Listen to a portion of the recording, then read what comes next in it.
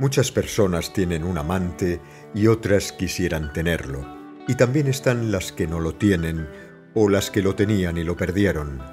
Y son generalmente estas dos últimas las que vienen a mi consultorio para decirme que están tristes o que tienen distintos síntomas como insomnio, falta de voluntad, pesimismo, crisis de llanto o los más diversos dolores. Me cuentan que su vida transcurre de manera monótona y sin expectativas, que trabajan nada más que para subsistir y que no saben en qué ocupar su tiempo libre. En fin, palabras más, palabras menos, están verdaderamente desesperanzadas. Antes de contarme esto ya habían visitado otros consultorios en los que recibieron la condolencia de un diagnóstico seguro. Tiene usted depresión y la infaltable receta del antidepresivo de turno. Entonces, después de que las escucho atentamente, les digo que no necesitan un antidepresivo, que lo que realmente necesitan es un amante. Es increíble ver la expresión de sus ojos cuando reciben mi veredicto. Están las que piensan, ¿Cómo es posible que un profesional se despache alegremente con una sugerencia tan poco científica?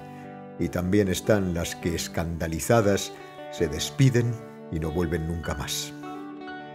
A las que deciden quedarse y no salen espantadas por el consejo, les doy la siguiente definición.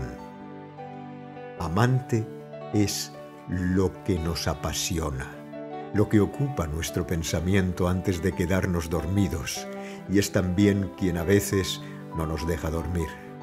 Nuestro amante es lo que nos vuelve distraídos frente al entorno, lo que nos deja saber que la vida tiene motivación y sentido.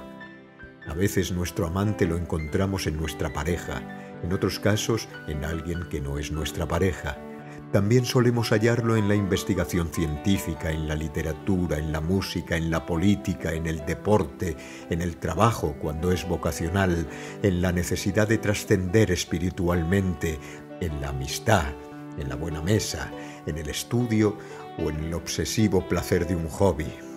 En fin, es alguien o algo que nos pone de novio con la vida y nos aparta del triste destino de durar. ¿Y qué es durar?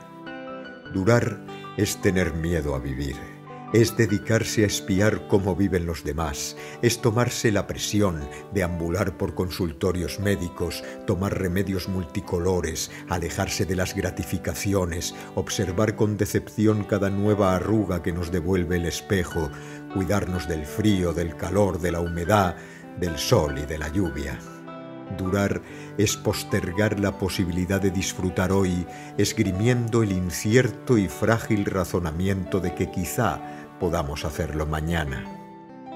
Por favor, no te empeñes en durar, búscate un amante, sé también un amante y un protagonista de la vida. Piensa que lo trágico no es morir, al fin y al cabo la muerte tiene buena memoria y nunca se olvidó de nadie. Lo trágico es no animarse a vivir.